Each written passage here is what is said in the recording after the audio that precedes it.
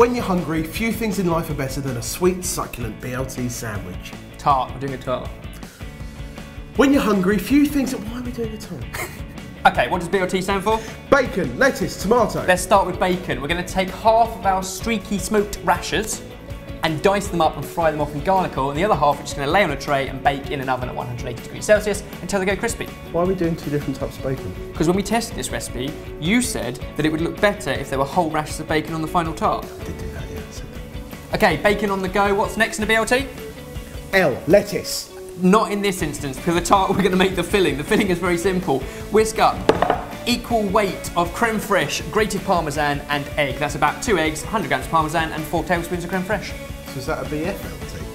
Filling, Right. base, Okay. B, BB, B- B base. BB, BB, BBLT. Yeah. Right. A little bit of shell in there. Tiny little bit of shell. Optional. BBLST. Turf. Cracked black pepper, whisk it up and put it to one side for later on. Next up in our acronym for BLT, tomatoes. We're going to take some cherry tomatoes and halve them. Well, we're only using half of them. Um, we're only using, no. Take a tomato, slice it in half. Right. And then use both halves. yes. Right, okay. My knowledge of tarts says not only should they look great, but they should also be really easy. Which is why we're going for shop bought puff pastry. See what you're doing there? I'm ignoring it. Unroll it, place it onto a baking paper lined baking tray, and then cut around the edge with about a one or two centimetre border. Now with a knife that's not too sharp, just going to score a border all the way around our tart. It's a very straight line for you. Thank you. And then what you do is dock the inside, which is a technical term for basically stab it lots, and that will stop it from rising. I should stay away from Urban Dictionary because that has a very different meaning for docking. Very rhythmic.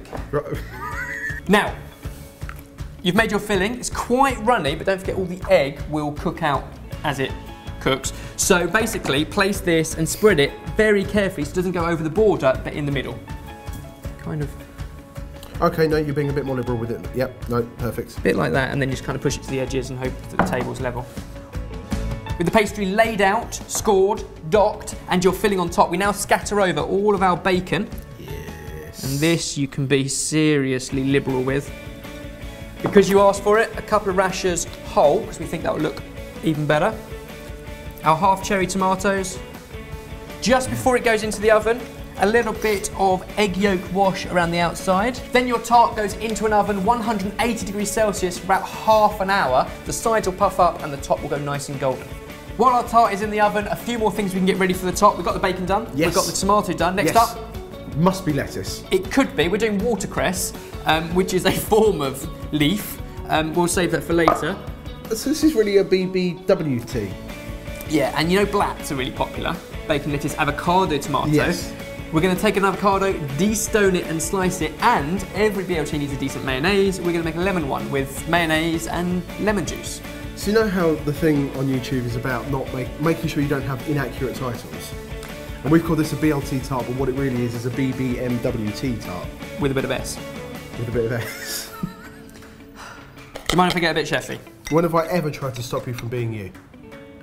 There we go. We're going to put it in a squeezy bottle because, like you said, the tart looked great with whole streaky slices of bacon. Yep. It also looks better with a fine drizzle of lemon mayo. Oh baby. Oh yeah. Transfer your tart onto a big board and now for the dressing. So a few slices of our avocado, just kind of scatter. We should finally put some L on our BLT. Which is actually W. A little bit of watercress. If you drop it from a height, it kind of finds its own little home. And then our lemon I'm, mayonnaise. I'm waiting for this. This is the chefy bit. And there we go. That right there is a damn impressive, beautiful BLT tart. Sorted. BBMWTS. Tart. Sorted. Sorted.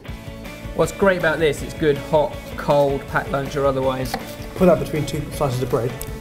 A BLT tart sandwich. That'd be amazing. If you'd like more inspiration for BLTs, sandwiches, tarts, or any other food, to be honest, head to sortedfood.com.